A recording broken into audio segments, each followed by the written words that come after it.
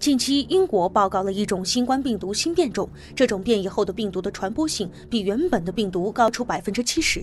英国卫生大臣马特·汉考克表示，这种新病毒在该国已经失控。十二月十九日，为了控制病毒传播，英国首相鲍里斯·约翰逊宣布对伦敦和英格兰东南部等地区进行新的封锁。病毒新变种失控的消息传出之后，欧洲陷入集体恐慌，众多国家迅速采取了措施，开始对英国实施旅行禁令。爱尔兰、德国、法国、意大利、荷兰。比利时等国家都暂停了与英国来往的交通。从二十日午夜开始，法国与英国的所有交通路线暂停四十八小时。作为对法国禁令的回应，欧洲隧道公司表示，从格林威治标准时间二十二点起，将暂停英国福克斯顿站前往法国加莱的交通。预定在二十一日旅行的人可以得到退款，但从加莱开往福克斯顿的列车不受限制。每年这个时候，爱尔兰会与英国有大量的旅客往来，但现在，该国政府宣布，来自英格兰、威尔士和苏苏格兰的航班至少在两天内禁止抵达该国。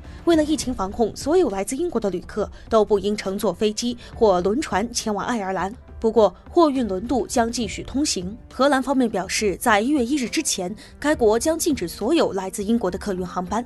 二十日晚些时候，该国又宣称禁止乘轮渡的英国游客进入，但货运不受限制。除此之外，比利时也从二十日午夜开始暂停来自英国的航班和列车抵达。保加利亚已暂停从午夜起往返英国的航班，该国禁令将持续至一月三十一日。奥地利、土耳其和瑞士也纷纷暂时禁止了所有来。自英国的航班，德国官方则发布消息称，来自英国的飞机将不允许在二十日午夜之后降落，运载货物的除外。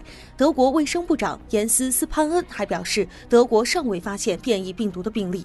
与德国不同，意大利卫生部已经在二十日报告了一例感染变异病毒的病例，病人正在罗马接受治疗。目前，意大利已经禁止一月六日前所有来自英国的航班。